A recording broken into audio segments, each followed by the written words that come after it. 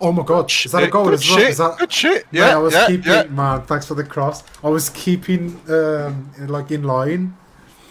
Well, that's a cool header, man. I aimed it, but I didn't. I didn't expect it to. Fucking hell. That's brilliant.